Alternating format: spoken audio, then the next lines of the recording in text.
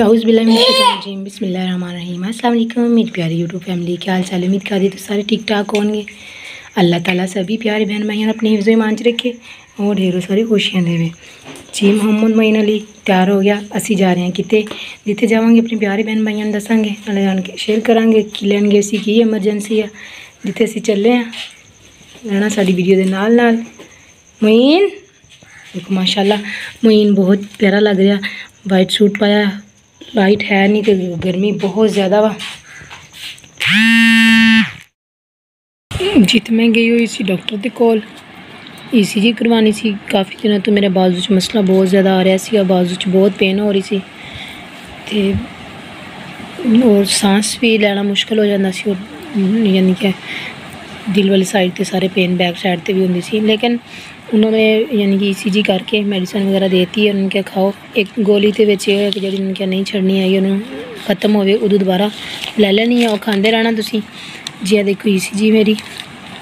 ਉਦਾਂ ਬਸ ਠੀਕ ਆ, ਹੁਣ ਦੁਬਾਰਾ ਕਿਸੇ ਹੋਰ ਡਾਕਟਰ ਨੂੰ ਚੈੱਕ ਕਰਵਾ ਕੇ ਦੇਖਾਂਗੇ, ਕਿਉਂਕਿ ਦਿਲ ਵਾਲਾ ਡਾਕਟਰ ਉੱਥੇ ਕੋਈ ਵੀ ਨਹੀਂ ਹੈ ਸੀ, ਇਹ ਮੈਡੀਸਨ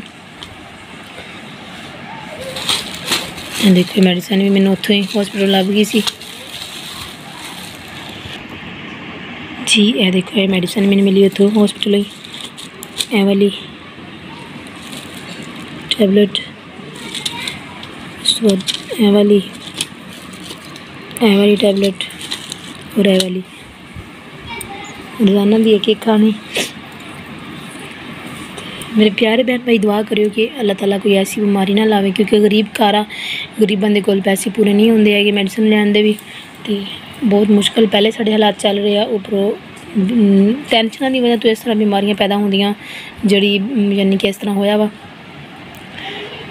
ਤੇ ਲੇਕਿਨ ਉਮੀਦ ਆ, ਤੁਸੀਂ ਦੁਆ ਕਰੋਗੇ ਸਾਰੇ, ਤੇ ਇਨਸ਼ਾਅੱਲਾ ਹਾਲਾਤ ਬਿਹਤਰ ਹੋ ਜਾਣਗੇ। ਕੁਝ ਅੱਲਾਹ ਤਾਲਾ ਇਨਸ਼ਾਅੱਲਾ ਜ਼ਰੂਰ ਕਰੂਗਾ। ਤੇ ਲੈਣਾ ਸਾਡੀ ਵੀਡੀਓ ਦੇ ਨਾਲ ਨਾਲ ਸਕਿਪ ਨਾ ਕਰਿਓ। ਆ ਰਹੀ ਸੀ ਸਬਜ਼ੀ। ਕਾਫੀ ਲੇਟ ਹੋ ਗਿਆ। ਕਿਉਂਕਿ ਬਾਜ਼ੂ 'ਚ ਬਹੁਤ ਜ਼ਿਆਦਾ ਦਰਦ ਆ, ਬੋਲਣ ਨੂੰ ਵੀ ਦਿਲ ਨਹੀਂ ਕਰ ਰਿਹਾ, ਮੇਰਾ ਬਾਜ਼ੂ ਵੀ ਦਰਦ ਔਰ ਇੱਕ ਲੱਤ 'ਚ ਵੀ ਬਹੁਤ ਜ਼ਿਆਦਾ ਦਰਦ ਆ। ਮੈਂ ਕਿਹਾ ਚਲੋ, ਸਬਜ਼ੀ ਤੇ ਬਣਾਣੀ ਹੈ ਕੁਝ ਖਾਣਾ ਤੇ ਹੈ। ਤੇ ਲੈ ਮੈਂ ਕਿਹਾ ਆਪਣੇ YouTube ਫੈਮਿਲੀ ਦਾ ਹਾਲ ਚਾਲ ਪੁੱਛ ਲੈਂਦੇ ਆ ਕਿਉਂਕਿ ਕਮੈਂਟ ਤੇ ਉਹਨਾਂ ਨੇ ਕਰਨਾ ਨਹੀਂ, ਸਾਨੂੰ ਲਾਈਕ ਤੇ ਕਰਨਾ ਨਹੀਂ ਹੈ ਉਹਨਾਂ ਨੇ। ਬਸ। ਮਜ਼ਾਕ ਕਰ ਰਹੀ ਹਾਂ। ਆਪਣੇ ਪਿਆਰੇ ਭੈਣ ਭਾਈਆਂ ਦੀ ਵਜ੍ਹਾ ਤੋਂ ਅਸੀਂ ਇੱਥੇ ਤੱਕ ਪਹੁੰਚੇ ਹੋਏ ਹਾਂ। ਸਾਨੂੰ ਵਾਚ ਟਾਈਮ ਦੀ ਬਹੁਤ ਜ਼ਰੂਰਤ ਹੈ। ਮੇਰੇ ਪਿਆਰੇ ਭੈਣ ਭਾਈ, ਸਾਡਾ ਵਾਚ ਟਾਈਮ ਪੂਰਾ ਕਰਾ ਦੇਣਗੇ ਇਸ ਤਰ੍ਹਾਂ। ਬਹੁਤ ਬਹੁਤ ਸ਼ੁਕਰਗੁਜ਼ਾਰ ਹੋਵਾਂਗੀ। ਸਾਡੀ ਵੀਡੀਓ ਨੂੰ ਫੁੱਲ ਵਾਚ ਕਰਿਆ ਕਰੋ ਲਾਈਕ ਕਰਿਆ ਕਰੋ, ਅੱਗੇ ਸ਼ੇਅਰ ਕਰ ਦਿਆ ਕਰੋ। ਸ਼ਾਇਦ ਕਿਸੇ ਗਰੀਬ ਦੀ ਮਦਦ ਹੋ ਜਾਵੇ। ਤੇ ਇਸ ਤੋਂ ਬਾਅਦ ਬਸ ਦੁਆ ਕਰਿਓ ਕਿ ਐਸਾ ਕੋਈ ਮਸਲਾ ਨਾ ਹੋਵੇ ਜ਼ਿੰਦਗੀ ਵਿੱਚ। ਨਹੀਂ ਤੇ ਬੱਚਿਆਂ ਵਾਸਤੇ ਬਹੁਤ ਮੁਸ਼ਕਿਲ ਹੋ ਜਾਂਦੀ ਆ।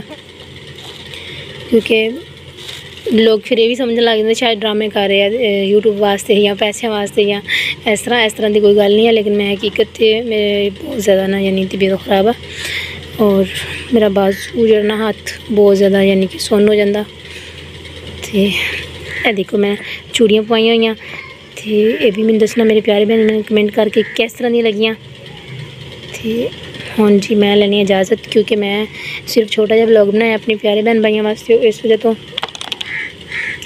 ਤਬੀਅਤ ਖਰਾਬ ਹੋਣ ਦੀ ਵਜ੍ਹਾ ਤੋਂ ਨਹੀਂ ਬਣਾ ਸਕਦੀ।